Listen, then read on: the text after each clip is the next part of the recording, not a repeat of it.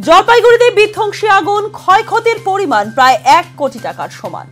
আগুন লাগে চা পাতার ব্যাগ তৈরির কারখানায়।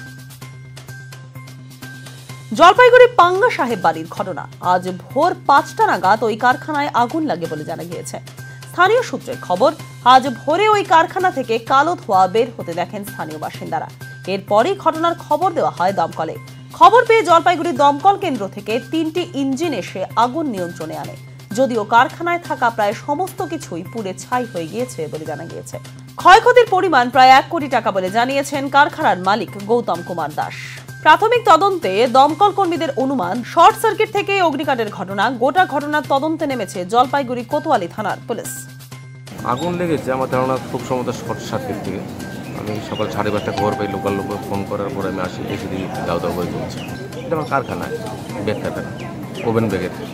হয়তো আমার স্টক ছিল পঁচিশ, ছাব্বিশ লাখ টাকা, তারপরে মেশিনারি আছে বিল্ডিং শেড বিল্ডিংটা তো খারাপ হয়ে গেল। কী করে লাগল আমি বুঝতে পারছি না। ফায়ার ব্রিগেডের লোক যা বলল, আমার মনে হচ্ছে শর্ট সার্কিট হতে পারে। এটা আমরা ভোর মোটামুটি পাঁচটার দিকে খবরটা পাওয়ার পরে মালিককে আমরা খবর দিই। তো আমাদের পার্শ্ববর্তী যারা আর কি সকালবেলা প্রাতঃভ্রমণে যায়, তারা খবরটা দেওয়ার পরে আমরা এসে দেখি।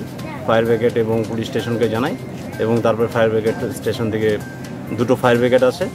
এবং পুলিশ ভ্যানও আসে। তারপরে যখন দুটো ফায়ার ব্রিগেড কন্ট্রোলে না আনতে পারে তখন তৃতীয় আর একটা ফায়ার ব্রিগেড আসে। সন্দেহ করা হচ্ছে যে এটা ফায়ার শর্ট সার্কিট থেকে হতে পারে কারণ চারদিকেই বন্ধ থাকে সুতরাং অন্য কিছু তো হওয়ার ব্যাপার নেই। যেটা ফায়ার ব্রিগেডেরও কথা যে শর্ট সার্কিট থেকেই হয়েছে।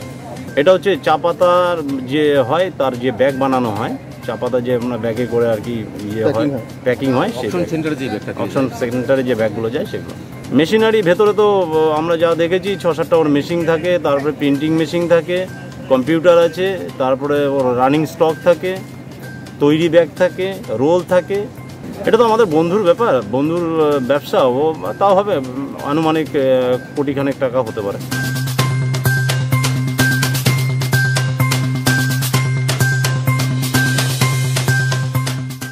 স্বাধীনতা থেকে শুরু হলো স্বদেশী অভিযান। গ্রামে গ্রামে বিদ্যুৎ এলো উজ্জ্বল হিন্দুস্তান। মঙ্গল পর্যন্ত পৌঁছে গেল স্বদেশী মঙ্গল যান। তাহলে কেন হবে না হিন্দুস্তানি নিজেদের সব জিনিস? আমরা বদলাবো তবে তো বদলাবে হিন্দুস্তান। সূর্যা আত্মনির্ভর ভারতের প্রতীক।